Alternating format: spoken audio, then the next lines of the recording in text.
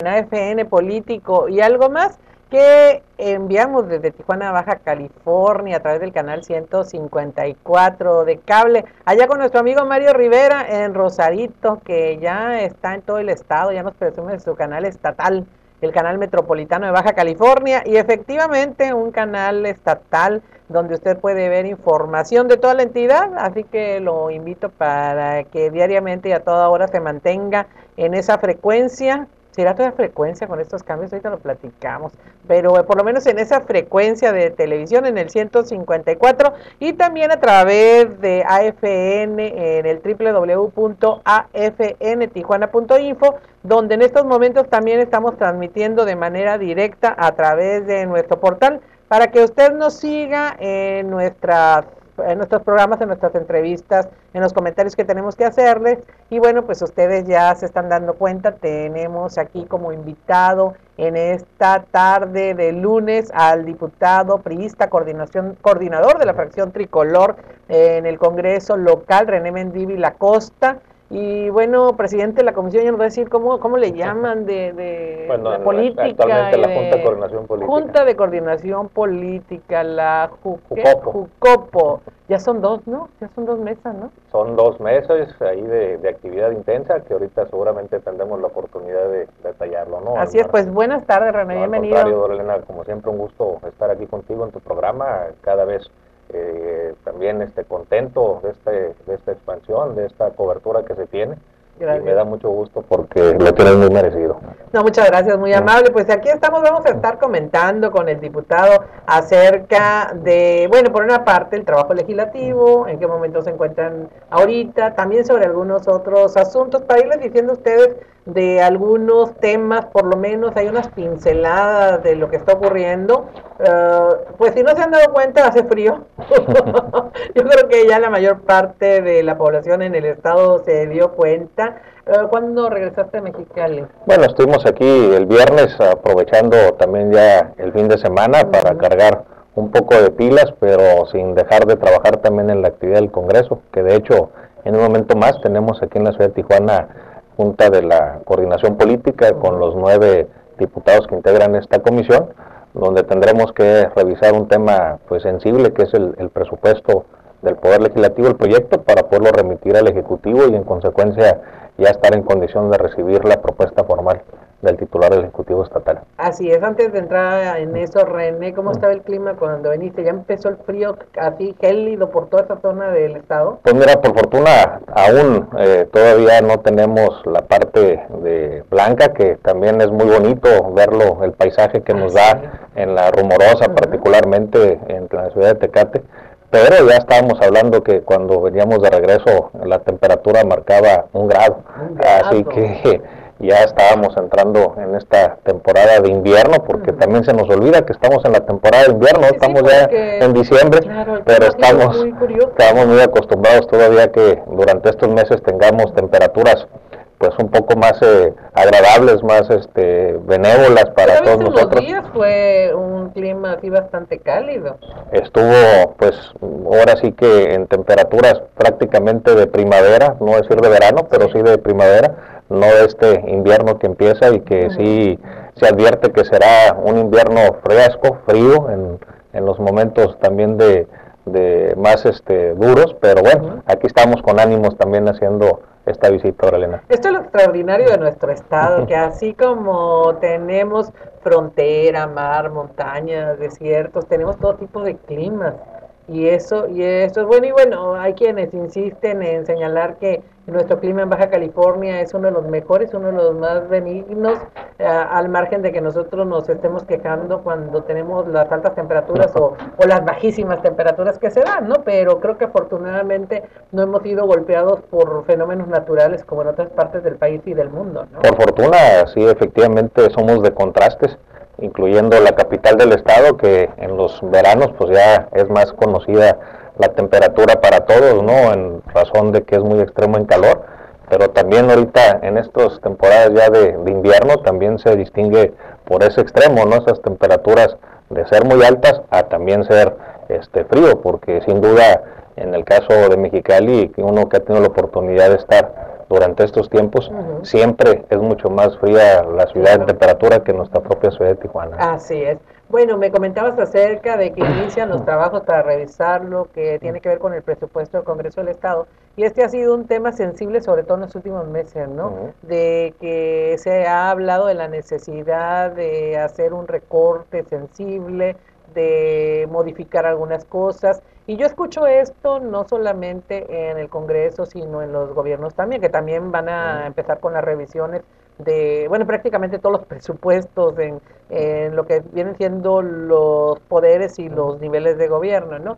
Pero yo me pregunto, ¿qué tanto se está hablando o se está pensando de recortes en, en algunos rubros, simple y sencillamente porque hay presión social y porque decimos se tiene que reducir eh, y que tiene que ver también con puntos de vista partidistas y qué tanto tiene que ver con una realidad de que eh, si van a meterse a, analizar lo que son los rubros sensibles y dónde se requiere o no dinero, porque también aunado a, esto vemos que normalmente se dice, vamos a aumentar más en, recursos para el orden social.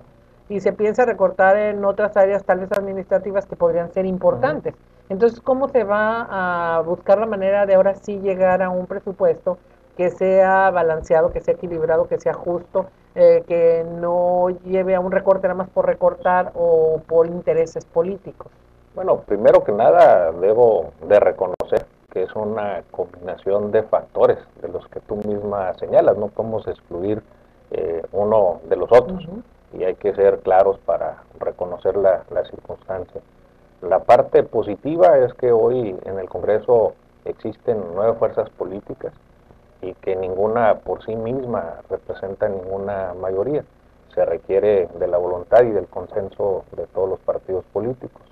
Eso nos ha llevado a que en estos primeros dos meses, casi ya y medio que llevamos en la función de esta legislatura, se esté privilegiando el acuerdo político, se esté privilegiando los consensos y hasta hoy ha habido esa voluntad de todos los que estamos ahí participando un tema que entendemos todo como eh, necesario de realizar responsable y objetivamente la revisión es el tema del presupuesto y no podemos exigir hacia afuera lo que adentro no tengamos nosotros la capacidad también de atenderlo.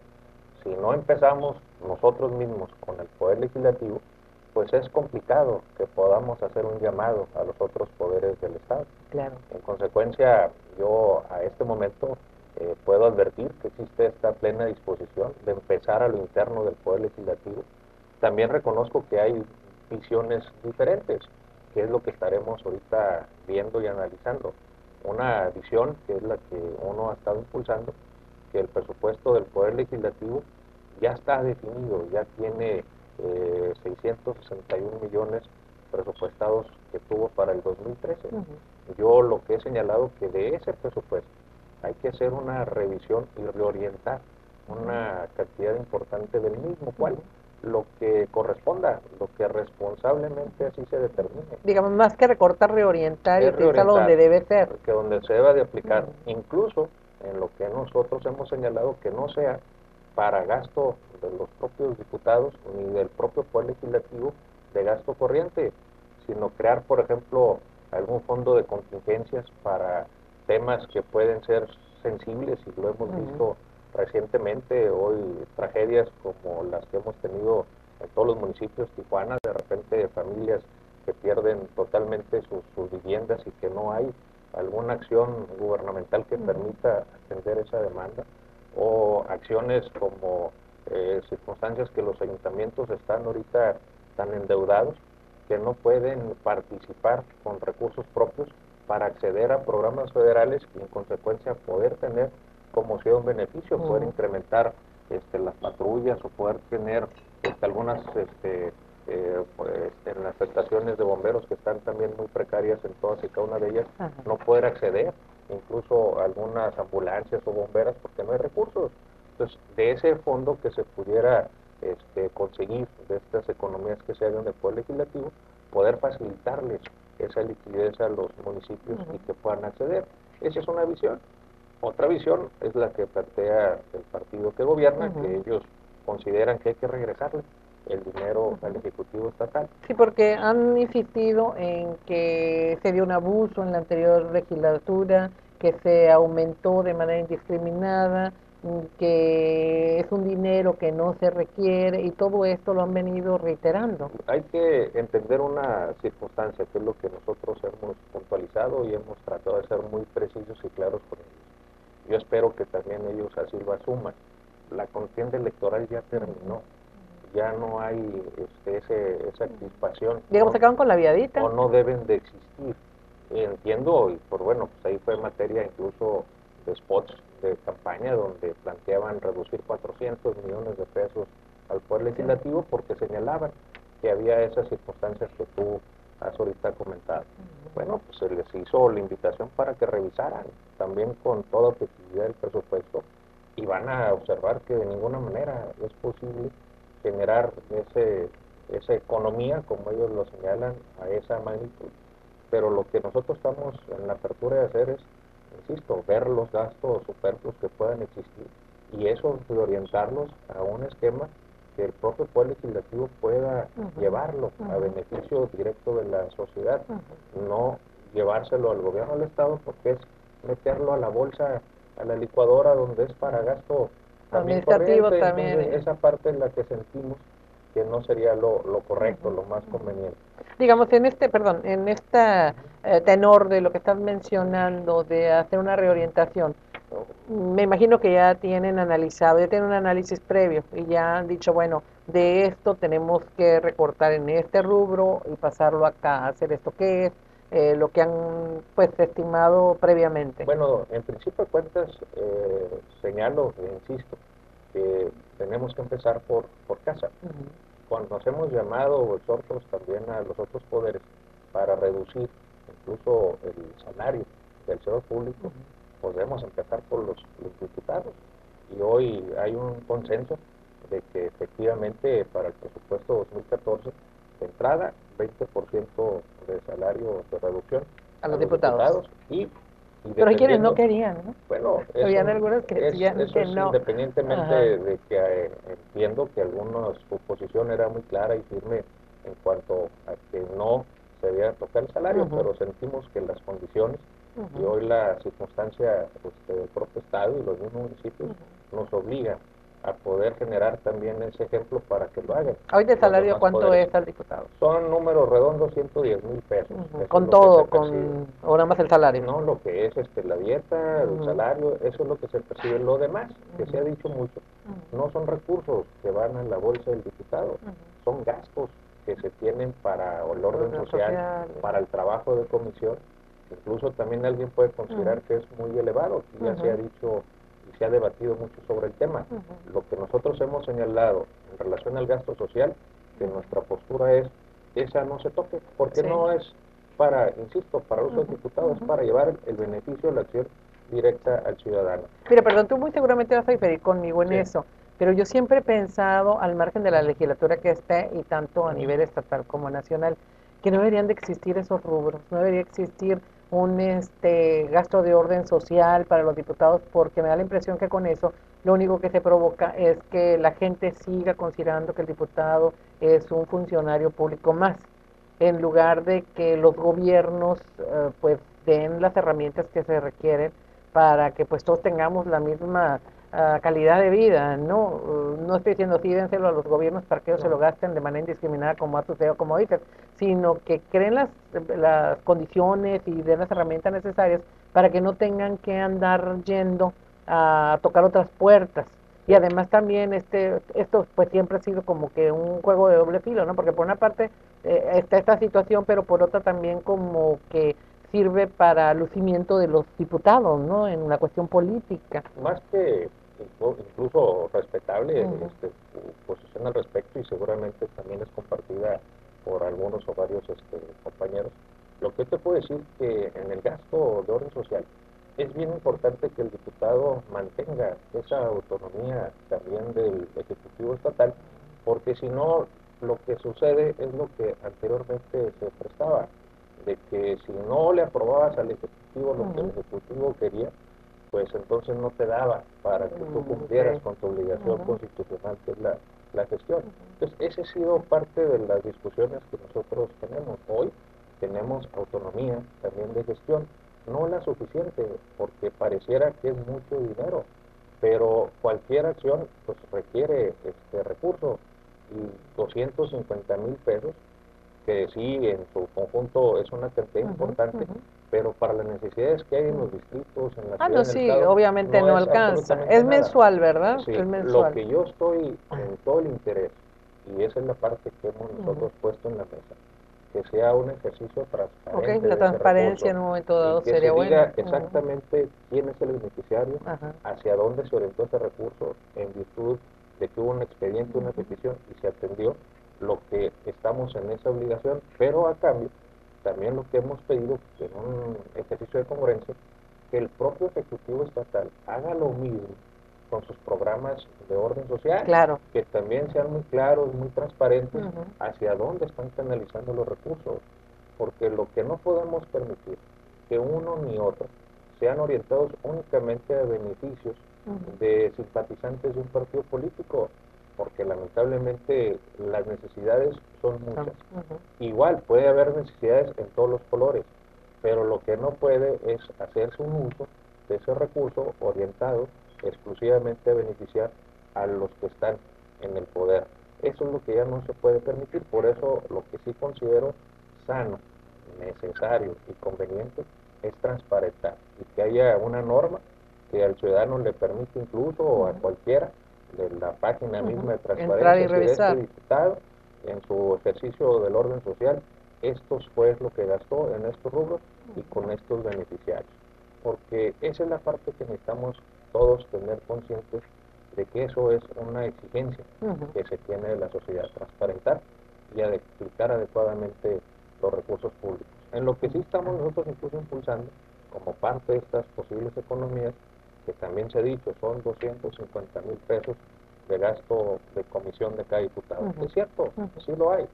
No van a la bolsa tampoco el diputado, porque son recursos que se justifican, que son facturas, son ¿Estos son aparte de lo de orden social? Sí, eso no es para orden social. Eso es para atender el trabajo exclusivo de comisiones. Ok, Pero si me permites, ahorita me lo, me lo explicas para así saber y que le quede claro, hablando de esto, transparencia a la población, vamos a ir nada más a un corte. Estamos en el programa FN Político y algo más, producido por Agencia Fronteriza de Noticias de Tijuana y transmitido a través del canal 154 de la Televisión Metropolitana de Cable en el sistema Cable Más. Vamos un corte y regresamos. Hotel Tijuana, donde el lujo se hizo para tu comodidad, te espera en Tijuana, la esquina más importante de México. Se encuentra a solo unos minutos de la zona Río y el aeropuerto de la ciudad. En plena Avenida Revolución te ofrece confort y seguridad. En el Hotel Tijuana sus espaciosas habitaciones e incomparables precios te esperan.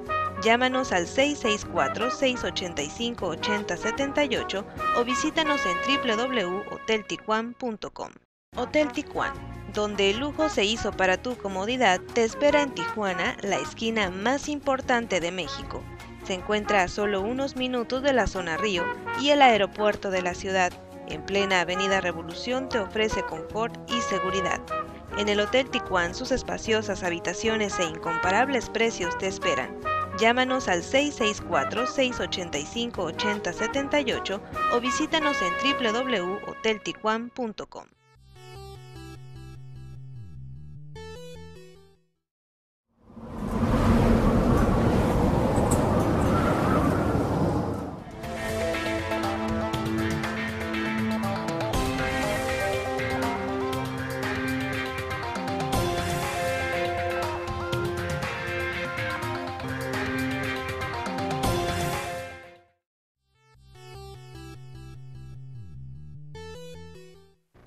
Continuamos, muchas gracias. Y estamos con René Mendívil Costa, coordinador de la fracción priista del Congreso local.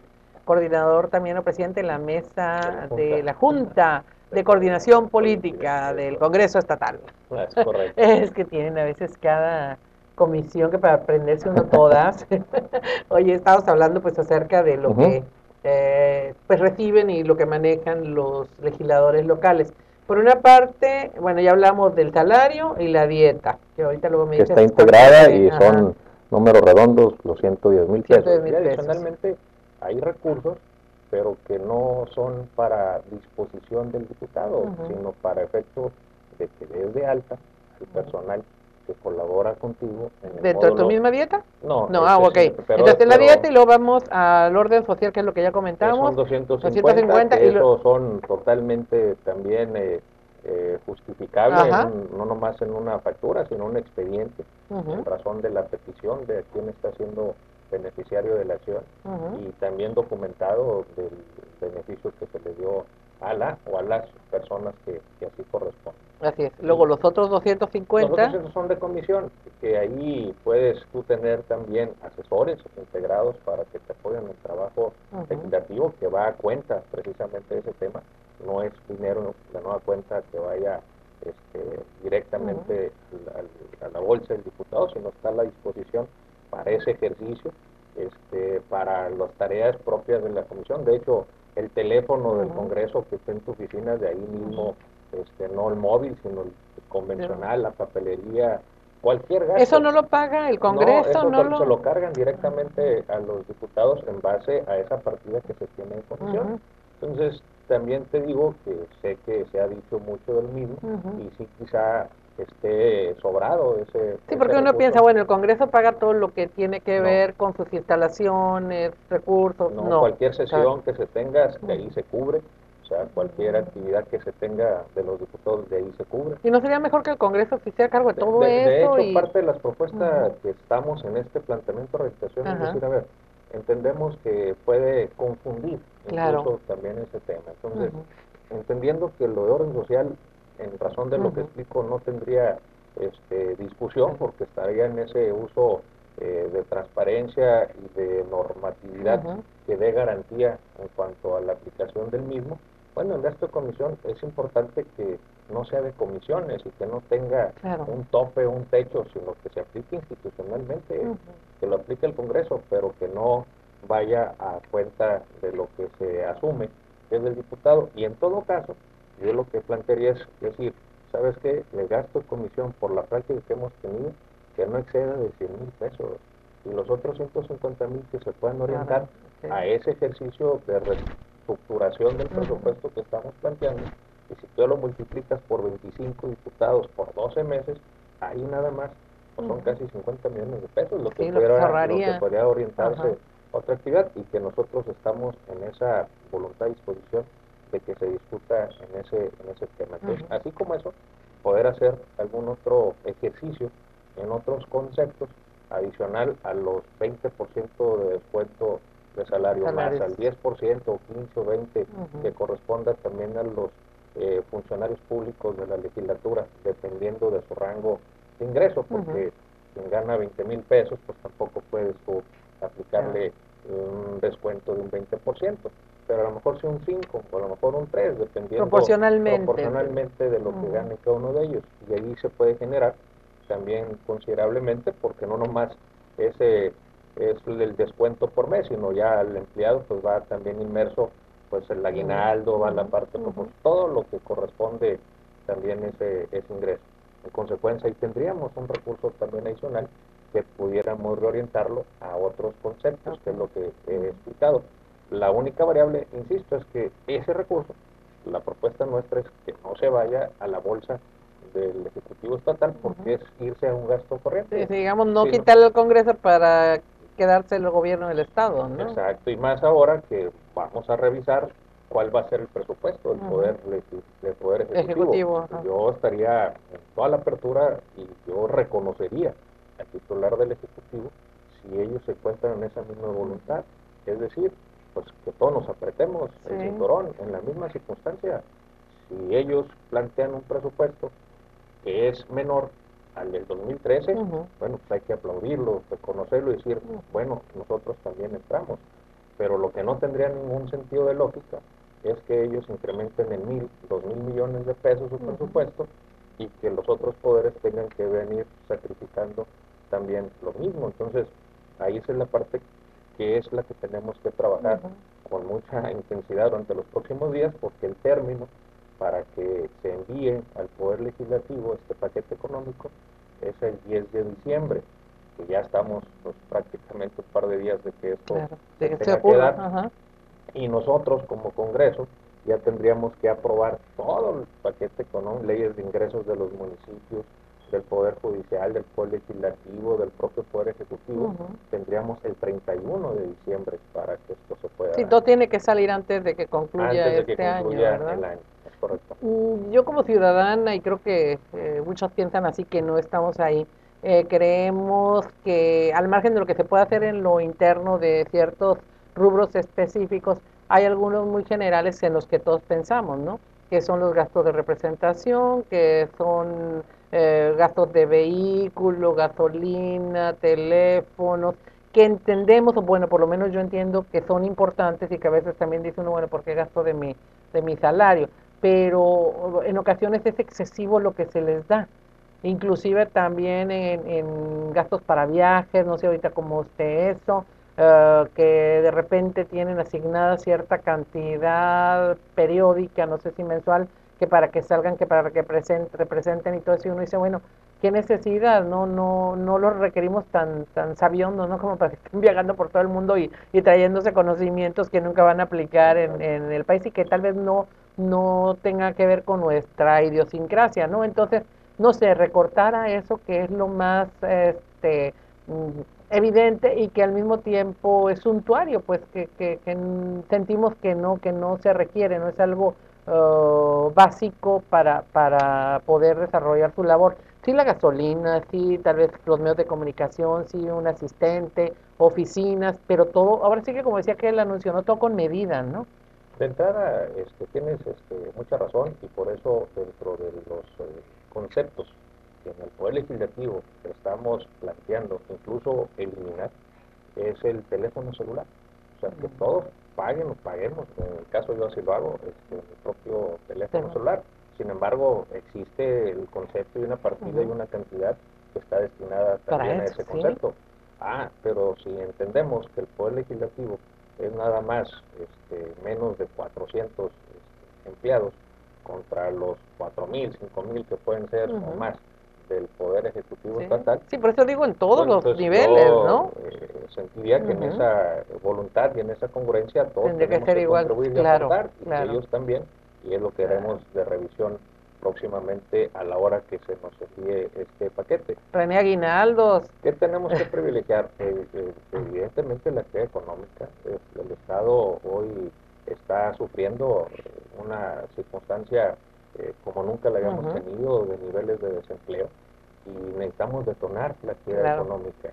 Y necesitamos incentivar a los eh, empresarios para que tengan mejores condiciones y que puedan generar empleo también a la gente. Necesitamos eh, generar una mayor inversión también aquí en el Estado y de propias acciones que puede hacer el Ejecutivo Estatal, porque cualquier infraestructura, cualquier obra infraestructura, pues es detonador también de la de la propia economía y es donde tenemos que fortalecer esos rubros que no se vean sacrificados como se vienen viendo porque nos viene rebasando la, la burocracia, nos viene rebasando el gasto corriente y cada vez es menos lo que se destina a este tipo de acciones que son los que verdaderamente nos permiten tener una actividad aquí económica eh, con mayor este, activo y que con consecuencia pues la gente tiene empleo y que hay circulante recursos y eso es lo que vamos a tener que estar privilegiando en la revisión de este de este paquete que nos envió el Ejecutivo Estatal.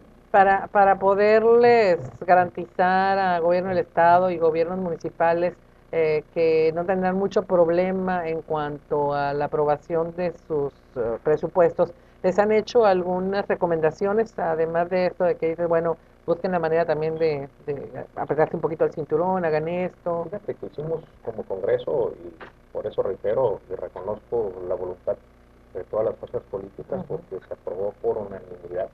Se hizo un exhorto a los poderes del Estado, ejecutivo, legislativo, por supuesto, judicial, y a los propios ayuntamientos, para que en la previsión de su, en el caso del Estado, de su presupuesto, igual en el caso de los municipios del mismo, que de una vez fueran considerando la reducción de salario a los funcionarios de los niveles.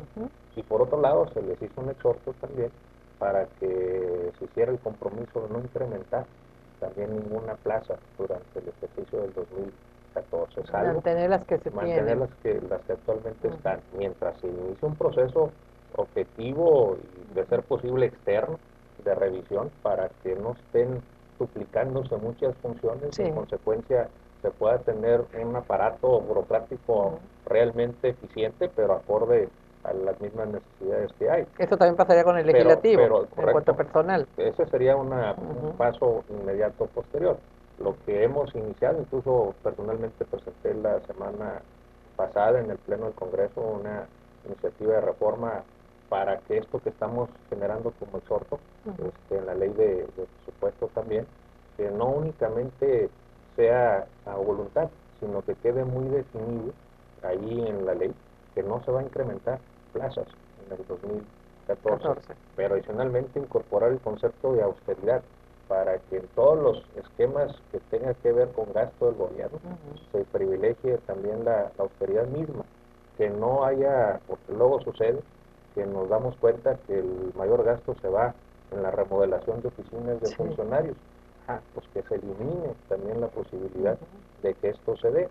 Mira, probablemente, perdón, una delegación que de repente vas y dices tú como que un sector como este tiene estas oficinas tan, tan eh, en malas condiciones, vamos a llamarle así, ¿no? Pero si es para un funcionario nada más, para su lucimiento, pues eso sí, para su de atención ni siquiera al público, porque no tienen pero para su propia comodidad, ¿no? Sí, lamentablemente el ciudadano no se tiene el, acceso, a los funcionarios de ese nivel, pues nada más es por comodidad propia y se genera ahí gastos sumamente importantes.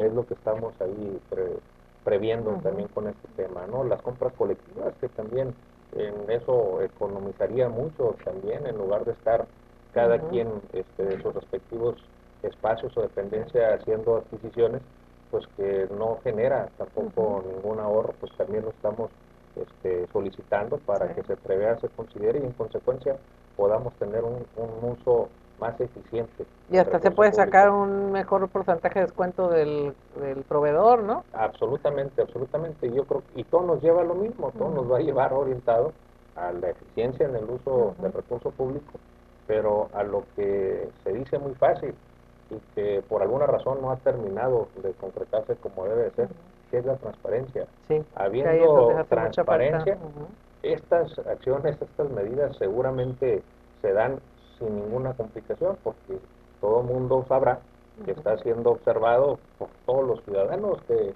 eso es la fuerza que te da estas medidas, ese es el poder que se le está dando también a los ciudadanos, que es lo que nos debe corresponder a nosotros. Sí. ¿Qué pasa con el Poder Judicial? Que es donde creo que existe la menor transparencia, muchos no sabemos qué es lo que ocurre, se habla mucho de que también tiene un presupuesto bastante elevado, muy inflado. Ah, eh, en estos días la magistrada presidenta tiene ya ah, sesión con la comisión, ¿no? Hasta donde tengo entendido ahí qué, han encontrado, qué, sugerencias o qué recomendaciones están haciendo y qué tanto se puede reducir. Bueno, entendiendo que en el caso específico del Poder Judicial hay alguna previsión constitucional que ellos así manifiestan como conocedores del derecho, donde no podrán tener una remuneración superior, eh, inferior este, de un año a otro. Eso les da... Ahí no pueden reducirla. Legalmente, pero tiene que ver un asunto de voluntad, por eso fue un primer exhorto si ellos tuvieran esta voluntad, lo que pudiera ser muy sencillo, solicitan que se descuente esa parte y que se vaya a algún fondo para mejorar la infraestructura del Poder Judicial. sería interesante ver si eso ocurre. Bueno, es que estamos hablando de que debe ser una Solidar, solidaria entre todos los poderes del Estado y el Poder Judicial no puede ser excluyente. Ahí está sujeto a la a la voluntad. Nunca se dijo sí, ahí no se puede. Pero bueno, si hay la voluntad por más pues, eh, modesta que esta pueda ser, pues va a contribuir. Pero, especialistas del derecho como son van a decir, no, es que tampoco se puede, no podemos crear un rubro que no existe.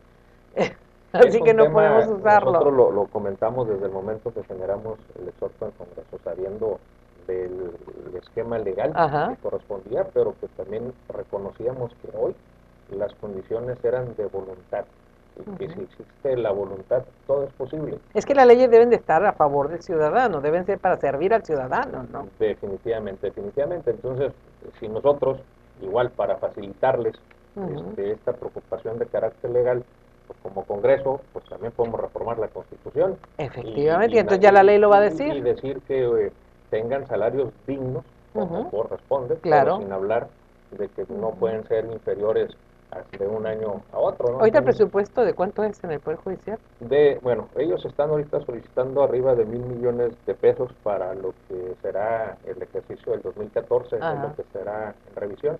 Deben de estar en el actual ejercicio 2013 arriba de los 850 millones de pesos.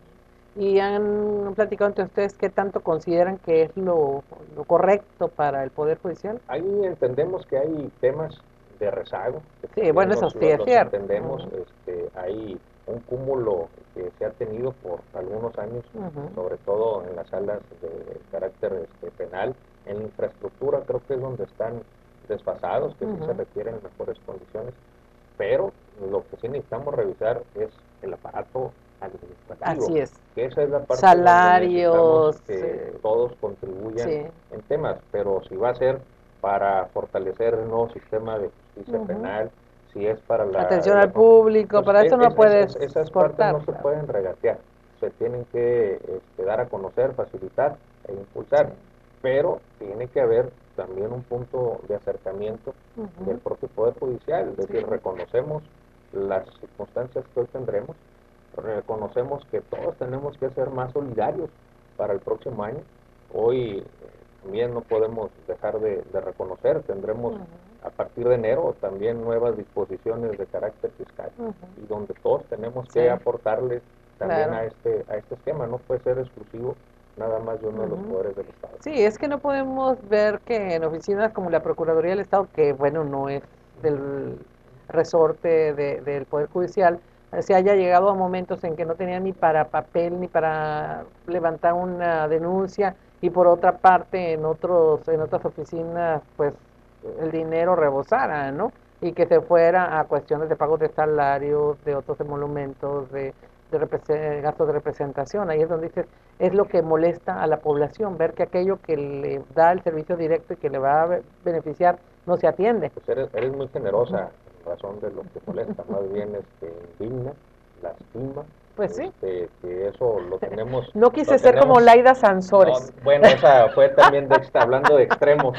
Como que se fue al otro extremo, de, que, de que pensando si representa realmente el sentimiento de muchos mexicanos. Yo sé que, que de repente los colores se imponen y hay gente un poquito acelerada, ella es muy entrona, la senadora de Movimiento Ciudadano, que, que mandó mucho a no sé dónde, a a la mayor parte de los eh, de sus compañeros del Senado de la República.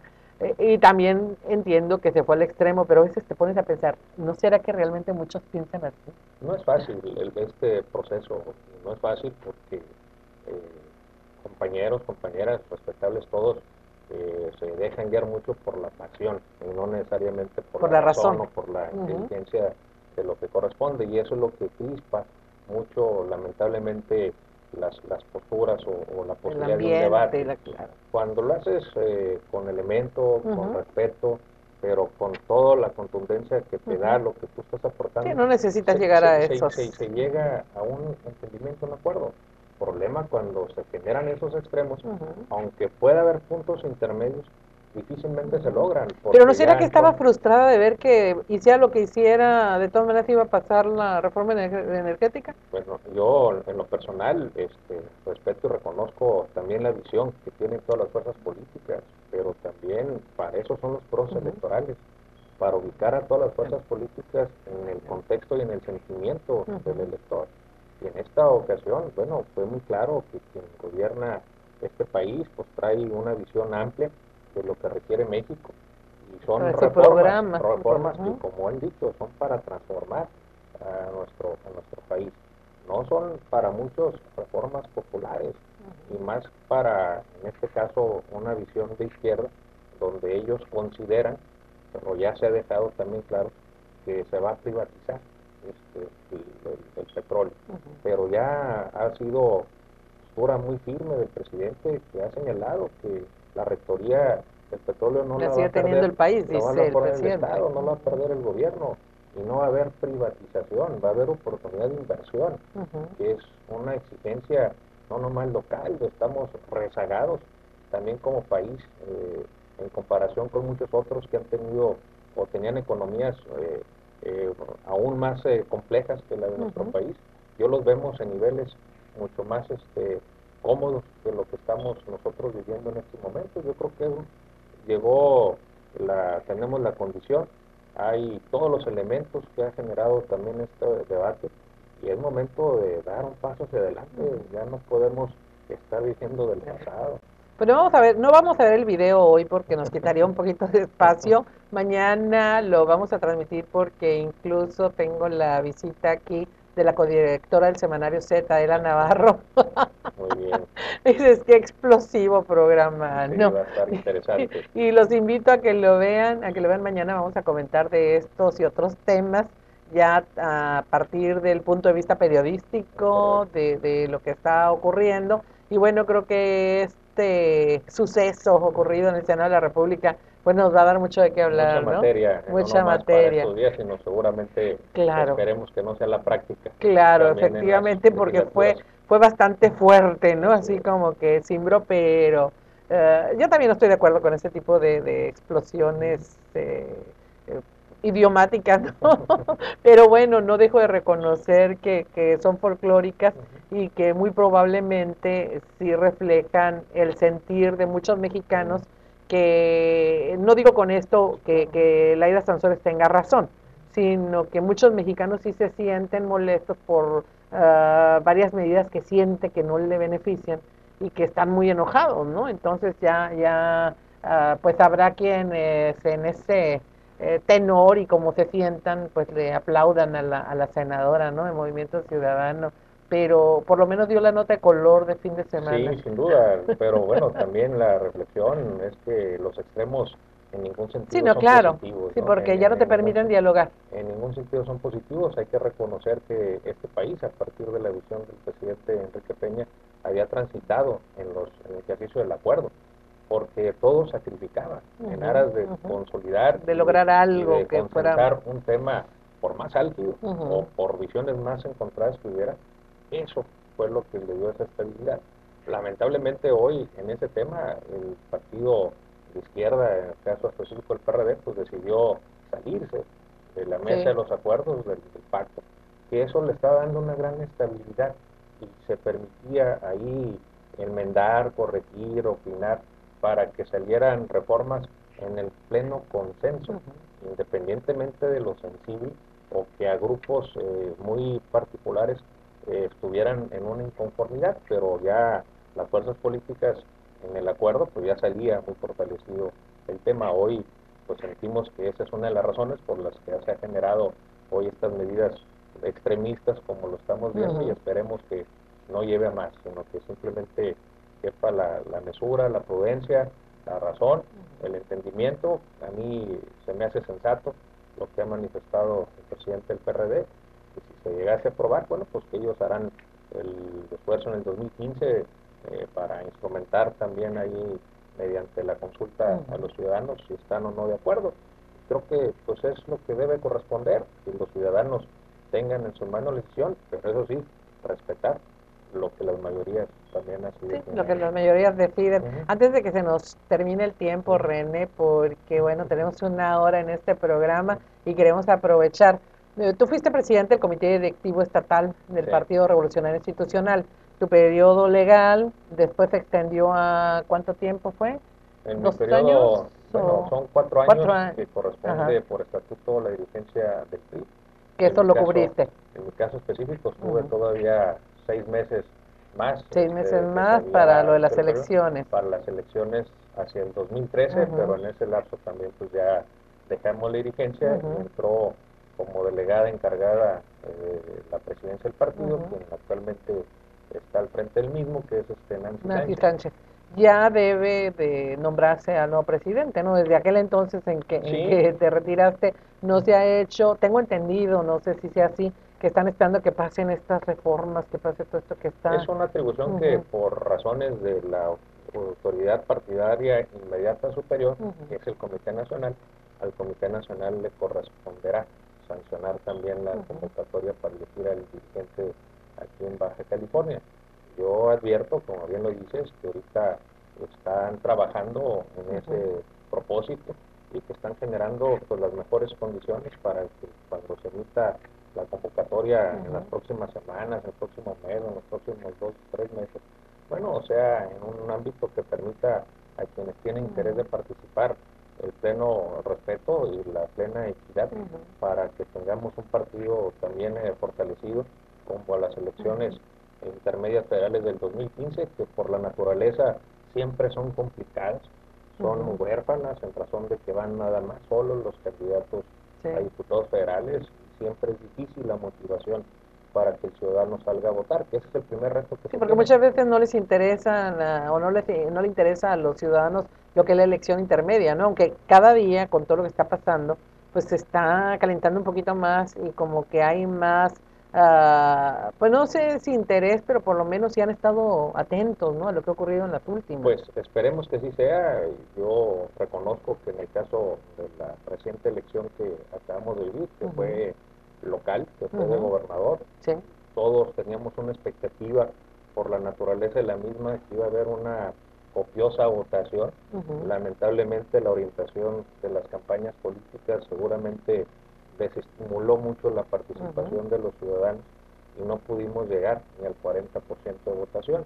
Eso sin duda por sí mismo no deja satisfechos y espero que no nomás a uno, sino también a quien gobierna, porque no llega con la legitimidad este, de toda la fuerza de haber dicho participó el 70, 80% y la mitad votó por mí. Entonces cada vez se llega con una legitimidad menor. a ocupar cargos públicos que son de gran trascendencia y los ciudadanos están, eh, por lo que advierto, decidiendo su inconformidad con no participar, cuando debe ser a la inversa, su mejor forma de participar es sufragando, emitiendo su voto por el partido, por la opción que así eh, respetuosamente considere, pero sí saliendo a manifestarlo, que eso es lo que da precisamente la fuerza a la autoridad para hacer eh, la labor que le corresponde. Sí, pero comentando lo que señalabas hace unos momentos, ¿no? El que también no interese a los ciudadanos las elecciones intermedias, más estas circunstancias, nos hacen temer que la participación en 2015 pueda ser todavía menor, ¿no? Más eso es lo preocupante, por eso creo que estamos todos, o debiéramos estar todos en el compromiso. Por lo que corresponde al Congreso, lo que hasta hoy se ha estado realizando, trabajando, privilegiando el acuerdo, el consenso, la gente lo que menos eh, desea es el enfrentamiento, es que nos enfrasquemos en, temas de carácter partidario únicamente, eso por eso insisto, para nosotros ya pasó, ya hubo una elección, ya se pronunciaron los ciudadanos, y hoy nos corresponde rendir cuentas con la responsabilidad que tenemos. Si cada quien asumimos la parte que nos corresponde, seguramente el mensaje puede ser positivo y que permita a la gente pensar que hay una nueva condición, y una nueva voluntad y que hay gente y hay actores que están en el interés pues, de cambiar positivamente las cosas aquí en el Estado. ¿Cómo ves al PRI frente a ese escenario, frente a este 2015? Porque además de que se tiene que nombrar al nuevo presidente, pues también he sabido que hay dos grupos que, que pues han estado disputándose el poder dentro del Revolucionario Institucional y ahora uno de estos grupos, eh, pues los dos muy fuertes, el de eh, Fernando Castro Trenti, eh, nosotros lo comentamos, ¿no? En cierta forma queda descabezado con su ausencia, aunque él dice que no, lo tuvimos aquí el viernes pasado y él señala que no es así, que el grupo sigue, que, que hay gente que puede salir adelante. En lo que corresponde, en mi caso, yo vengo... Porque tú eres de este grupo. Yo vengo de, un partido y de una expresión de partido que se ha formado en la universidad, en el interno aquí de Baja California, en la circunstancia que no me ha tocado eh, generacionalmente un gobierno emanado de mi partido como si no te ha tocado ¿verdad? con un gobernador a mí mi primera participación obviamente por razones también de la posibilidad de sufragar fue en la elección de presidencial del 88 luego ya me tocó la del 89 y evidentemente a partir de ahí para la generación de priistas pues nos hemos estado eh, pues participando en un escenario totalmente adverso. Pero ahí hemos estado. O sea nosotros no somos este eh, eh, priistas que están nada más por el interés de ocupar algún espacio en la administración pública. Somos gente formados en la, en la oposición dentro del PRI, pero somos consistentes en nuestra participación en el PRI. No se desmoronen porque se les va su líder. Y eso no lo vamos a cambiar. Vamos a seguir participando con la misma emoción, con más coraje ahora, por razones elementales, de que hoy teníamos la gran oportunidad de haber eh, recuperado el gobierno de Baja California. Trabajaremos con más inteligencia, pero desde la trinchera que siempre hemos tenido. Bueno, hay otros eh, que tienen la condición de estar en espacios que no necesariamente han estado en esta lucha de partido. Perdón, pero aquí van a luchar con, con sus mismos correligionarios, aquí no va a ser una lucha con opositores, sino que, aquí va a darse a nivel interno, ¿no? todos los partidos, eh, ahí no es exclusivo del PRI, es, la discusión es el interno, como debe de corresponder, y bueno, a partir de esa lucha interna ya salir con una visión hacia afuera para poder fortalecer territorialmente las estructuras de nuestro, nuestro partido. ¿Crees que los grupos pueden llegar a un acuerdo, pueden, pueden eh, pues decidir y aceptar trabajar juntos los dos grupos que, que han existido en los últimos años en, lo que corresponde a nuestro caso, eso es lo que hemos impulsado, lo que hemos privilegiado. Como dirigente del partido fue lo que me correspondió realizar, no en vano, y no digo que haya sido el factor, pero fue un elemento como fueron muchos otros en ese periodo logramos ganar las cinco alcaldías, logramos tener la mayoría del Congreso local, logramos ganar siete de ocho distritos en la elección de, del proceso del 2012 porque había una integración.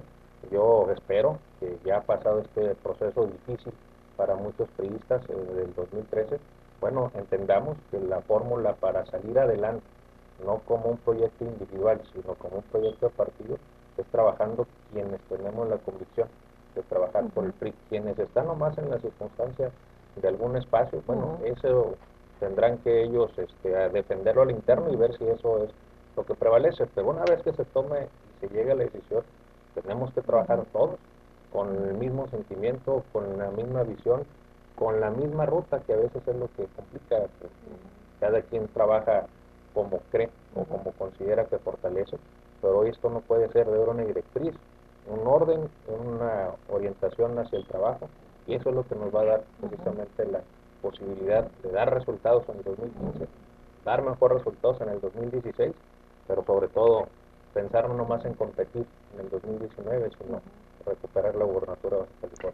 ¿Puede ser o vas a ser tú o eres tú el nuevo jefe político de este grupo? ¿Eres el heredero de Casa 30? Mira, soy una gente convencida de que este grupo ha trabajado siempre a favor de las causas, no nomás del partido, sino de la misma sociedad. Yo estoy seguro que él, igual hoy en esta nueva encomienda, tendrá que estar pues, muy atento de esa responsabilidad. Y en esa actividad diplomática, bueno, pues él tendrá que estar focalizado a realizar ese propósito pero también no lo veo alejado de las causas. Si él dice que no, que él va a seguir pendiente. Y estoy convencido de que él en ese carácter, en esa convicción y en esa lucha que ha emprendido por muchos años también, pues va a estar muy atento aquí de los temas. Pero alguien va a tener que operar aquí. Y definitivamente lo que debe de haber es una, una conducción responsable y ubicar más que cabeza cuál es el espacio que cada quien tiene, a quién le corresponde realizar en función de lo que cada uno ostenta. Yo no dejo de reconocer también mi función como coordinador del grupo parlamentario del PRI, que eso en sí mismo también representa un compromiso ante el partido y una responsabilidad. Y ante el Congreso. Ante el Congreso, pero la, y que no puedo yo la parte partidaria este, llevármela al escenario del Congreso, porque eso entonces no facilita la conducción también de los acuerdos en lo que corresponde ya a mis tiempos este, de participación de partido, pues claro que estaré impulsando con toda compromiso y decisión las causas por las que hemos luchado por más de 24 años, porque yo sigo teniendo como objetivo ver que mi partido recupere la gobernatura, pues ya no en el 2013, que era un primer propósito, ahora vamos a estar en, el, en el 2019, que de hecho desde que hemos estado, la condición del 2007 fue una, la condición del 2013 fue otra, hoy como nunca estuvimos en la posibilidad de esa recuperación. La participación mayor que ha tenido votación nuestro partido la tuvimos en esta elección y el diferencial de dos puntos por el que no se obtuvo la gobernatura, pues también es sintomático de lo que hemos señalado en la competencia. Hoy hasta el 19, pues no podemos perder el rumbo, al contrario, hay que entender que no se de todo y el que gana espero que crea que ganó todo. Entonces ahí nosotros nos prepararemos para estar en esa trinchera. Con el conocimiento que tienes del partido, ¿ves ahorita que hay alguien o algunos que se perfilan con mucha posibilidad para poder convertirse en el presidente o presidenta fuerte del revolucionario institucional? Mira, no es un proceso sencillo porque para iniciar es una dirigencia estatal y en consecuencia debe ser un perfil que tenga eh, trayectoria y que tenga conocimiento también de los periodistas de los cinco municipios aquí en la entidad de Baja de California. Y por esa naturaleza, pues tampoco son muchos los que puedan estar en ese, en ese estilo.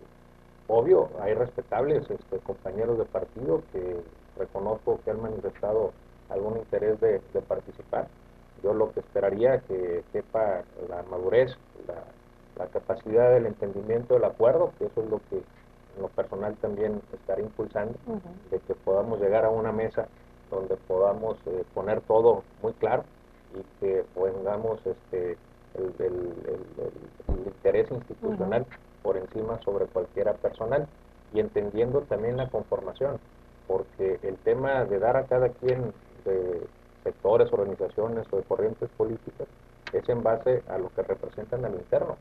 Se vulnera el partido cuando se quiere privilegiar por encima de los que pueden tener una mayor participación a quien no la tiene. Entonces ahí es donde se genera el choque y el desgaste. Yo lo que considero que el Comité Nacional debe estar muy atento, muy pendiente, poner sobre la mesa los activos de todos y sí privilegiar, obvio, a quien tenga el mayor activo y que en consecuencia pueda sacar adelante este reto que tendremos, que no será este menor, hacia el 2015 y 2016 y construir las bases para el 2018 y 2019. Así es. Pues René, se nos fue el tiempo, te quiero agradecer tu atención de habernos acompañado. Ah, pues habrá más invitaciones para que nos hagas el favor de estar aquí con nosotros y que puedas comentarnos cómo va avanzando todo esto y los resultados que se tengan ahí. Encantado la vida. Por lo pronto, como no sé si será para cerrar este año, aprovecho para... Esperemos, pero... Pero si no, igual para desearles a todos por los mejores parabienes para esta fecha, que son fechas siempre que nos permite también la, la convivencia, la integración. Yo quiero aprovechar para desearles a todos una feliz Navidad. Pues muchísimas gracias, lo mismo para ti, aunque espero que sigamos en contacto. Y bueno, a ustedes los espero mañana en este mismo canal a partir de las 12 mediodía en el programa FN Político y algo más producido por Agencia Fronteriza de Noticias de Tijuana. Ya sabe, usted nos encuentra en el www.afntijuana.info. Pase un muy buen día, aunque haga friecito. Disfrútelo.